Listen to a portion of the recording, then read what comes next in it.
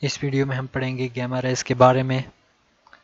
تو سب سے پہلے میں آپ سے کہوں گا کہ اگر آپ نے ہمارا چینل سبسکرائب نہیں کیا تو سبسکرائب کر لیں۔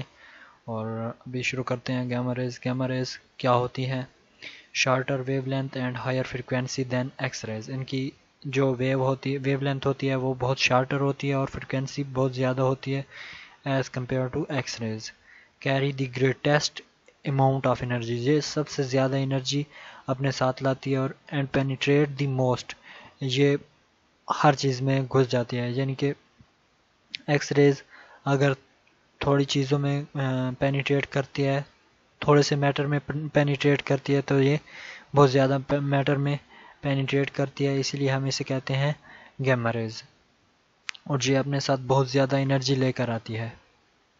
Used in radiation treatment to kill cancer cells یہ ہم ریڈیشن ٹریٹمنٹ ریڈیشن ٹریٹمنٹ کرتے ہیں کینسر سیل کو مارنے کے لیے۔ اگر اس کا غلط یوز کیا جائے تو یہ بہت نقصان دہ ہو سکتی ہے۔ The incredible Hulk was the victim of gamma rays جو ہلک تھا، جو مووی میں دکھایا گیا یہ اس پر بھی گیمریز بھی، اس پر گیمریز گری تھیں اور اسی لیے یہ بہت بری طرح بڑا ہو گیا تھا اور اس کا بہت برا انجام ہوا تھا۔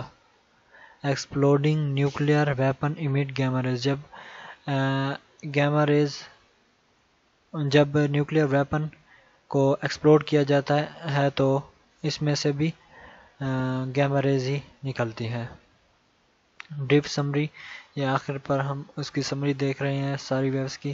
All electromagnetic waves travel at same speed in a vacuum vacuum میں یہ ساری ویوز ایک اسپیڈ پر چلتی ہیں۔ They all have different wavelength and different frequencies ان کی ویو لینتھ اور فریکوینسیز ایک دوسرے سے مختلف ہوتی ہیں۔ Long wavelength lower lowest frequency جن کی ویو لینتھ بہت زیادہ ہوگی فریکوینسی بہت کم ہوگی۔